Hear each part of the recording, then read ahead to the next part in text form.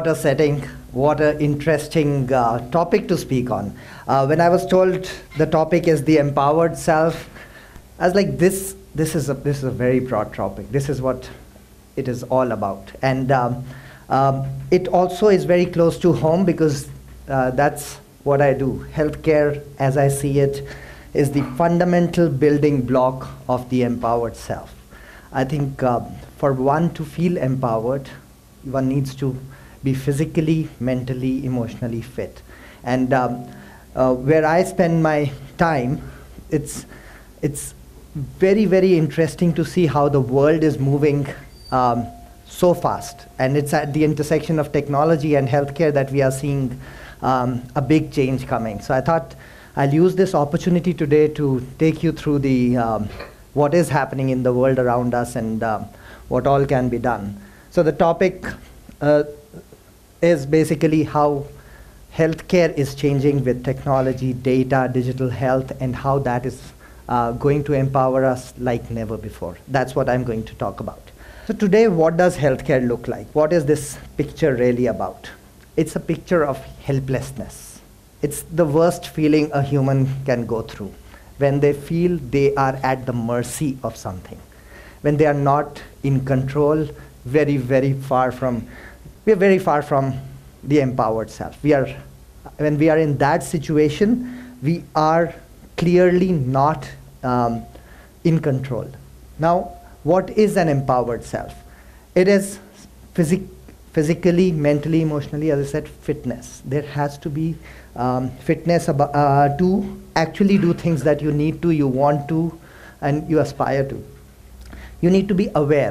Where are you right now? The quantified self. The, that's an entire movement that will just tell, that is telling people that right now you are here and you are headed in this direction. This is the trajectory you would be on. And um, uh, the last part, very important, is proactive. Can you control your destiny? Can you control that and influence that trajectory? And that's, that's where technology is coming in very, very fundamental way. Today, when we say we manage our health, what does it really imply? Um, it's, it's very reactive. When you feel sick, you look for health care. When you are okay, you assume that the trajectory is in the right direction, which is not. Uh, but it is very, very reactive. The other thing is, it's largely cosmetic. Um, a person is said to have a healthy lifestyle if the person is working towards weight loss. And that's kind of uh, the primary objective agenda. And, and, and healthcare is a lot more uh, holistic and comprehensive. Lastly, it's the fads come every season. We have seen so many of them. And um, uh, that's kind of, we do these three things, we feel we are taking care of our health. Um, and, and it's not really um, what is fundamentally what needs to happen. Now, what's fundamental? That's, uh, you've heard this word so many times already from me. Now, um, healthcare is in a very unique situation. It's, it's one of those industries that has suffered from lack of imagination for the longest time. And um, uh, what I mean by this is we keep reinventing the wheels all over again. And uh, think about um, what a doctor does. Um, a doctor run, uh, learns certain set of protocols in medical school and then on top of that builds a huge layer of pattern recognition as they see more and more patients they keep getting better with age they get better with experience and then when the doctor is gone, you're back to zero. The next doctor is again starting the learning curve again and again. No other industry pretty much has that kind of a situation where the, there is no compounding or incremental. It is, a doctor goes like this, an apprentice would learn a little bit, but till you do it yourself, there is no continuous growth.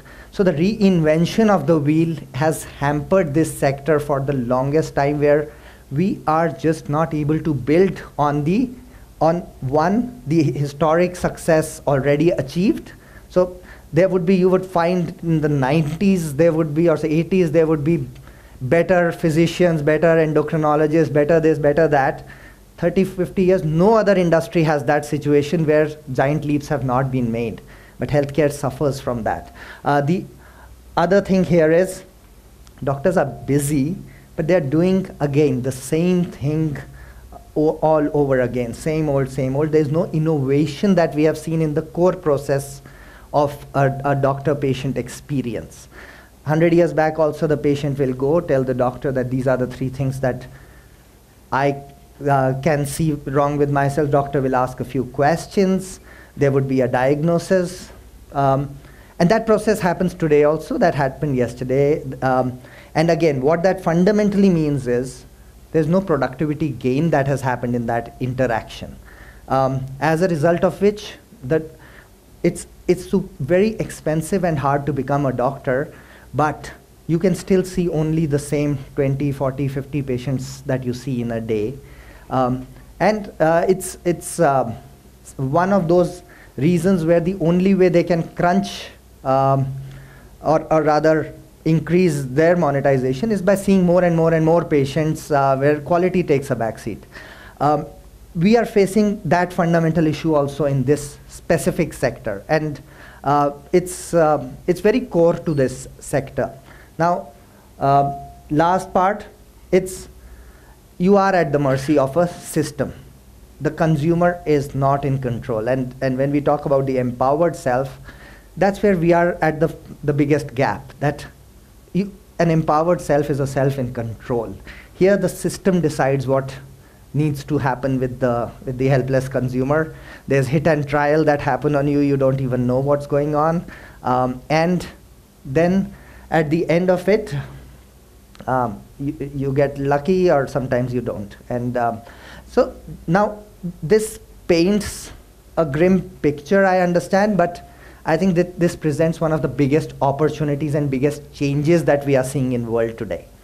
Because there's uh, the fundamental change that is happening is that the uh, that technology has come in. Computational science has advanced to a very significant degree. We are moving into a world where healthcare is becoming more and more personalized, preventative, predictive. And I'll tell you how that happens. Now, this say the doctor-patient interaction. Um, this interaction has followed a certain paradigm, but the building block, as I explained, is exactly what it was.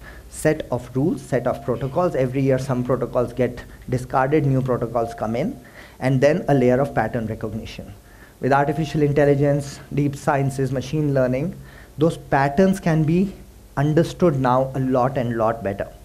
Um, the little computers today can have access to patterns across literally thousands of doctors and millions of patients and can start building out the, the pace of diagnosis, which very soon will um, beat or complement the kind of diagnosis that a doctor can uh, achieve. Now, I'm not saying this needs to replace the doctor. Actually, this gives the doctor a lot more time to do the more important thing that they need to do, which is comforting, counseling, and guiding the patient how to manage his or her condition. They should not be spending so much time on things that technology can do the diagnosis, the writing, the prescriptions, the figuring out the same thing over and over again. And another thing that is very, very, I think, um, critical here is from a patient's perspective, everyone feels that I'm getting a very personal touch by having that conversation again and again. From the doctor's perspective, you are like the previous 50 patients who came in with the same condition because this is fever season. Everyone is, every second person is walking in with the same and walking out with the same prescription. Now, you really need to let a lot of that mechanical work move on to technology, and technology is capable now. It is strong now. It is able to process not only based on the protocols, because the biggest problem has been protocols have always been there. But this, it's a multivariate system where there are so many data points, so many in, in, uh, entry points and inputs that can go into that model. And then starts the, the churn of the, the patterns when you see, when you see doctors respond differently, how would a human mind respond to it? That's what artificial intelligence does. It understands that pattern, and that's where we are seeing very, very key work happen across the world. And um, um, it's happening in India. Uh, it's happening in China, it's happening in the US, it's happening in UK. Um, this is coming faster than one would imagine, and I think it's, it's going to make healthcare so much better, predictable, and data driven. The other thing is personalized. A person's history and personal condition based. Right now, we have healthcare which is very much one size fits all. This is the, the way it should work for everybody. Now, the reality is everybody's condition, everybody's um, genetics, everybody's body structures, everyone everyone's uh, current data and historical trajectory have been different. Their risks are different, their needs are different. And what technology does is does that individual linear mapping that you in your tra- trajectory are moving in this direction and this is the intervention you need. Overlay that with an understanding of millions of patients who have uh, who the system has seen like you who were in this kind of a condition at this point. These were the specific interventions that made them look uh, go down go up go sideways whatever. These this is the kind of thing you do. So 5 years later if you look at your personal health app that app should be able to tell you these are the th- three things you need to care about today. Do this this and this and you will continue living well. You'll continue living healthy happily. Um, and then it's the empowerment is certainly there's a big pyramid but at the base of it is you it's it's impossible to be empowered unless you are in control of your physical and mental well-being. So you really need to be fit and disease free so that's where healthcare 2.0 as uh, we call it is it, uh, it is personalized it is for you it is every individual gets a tailored healthcare experience your app tomorrow, five years later, you see will be completely different from what the person next to you sees. It'll be based on your trajectory, your genetics, uh, your uh, data. IoT is changing how we access data. Genetics is changing how we uh, understand trajectories. All of this is, is, uh, is what we are seeing going on in the system. It will become more and more predictive. You are headed into this abyss. This needs an intervention right now. It is scientific. Um, I think already uh, most of the, whether you see the IBM Watson examples or a lot of AI examples, uh, at our end, we are also developing a bunch of AI models for uh, healthcare.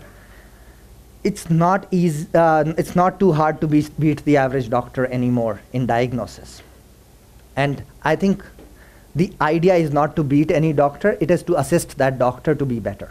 And that is a fundamental thing that we need to uh, make sure we are uh, working towards that the same doctor can focus on so much more value add if only that person had the time and um, capacity to really do that, which in today's stretched environment doesn't look likely. Um, this is also very critical for a country like India. I think um, the projected gap between uh, the number of doctors and that we need and we have is somewhere around like we need I think around 3 million doctors to meet the needs of our citizens as of now. Um, we have around 800,000 doctors today. So we are literally in a situation where we are 70% short. And it takes five years, seven years for a doctor to get trained. There's no way. It's not even a, a practically impossible, even theoretically, a construct will not get you there that in any foreseeable future we'll have th- that number of doctors. What we need to uh, make happen is the same doctors should be more productive handling 10 times the number of patients that they could. And that is the promise of technology.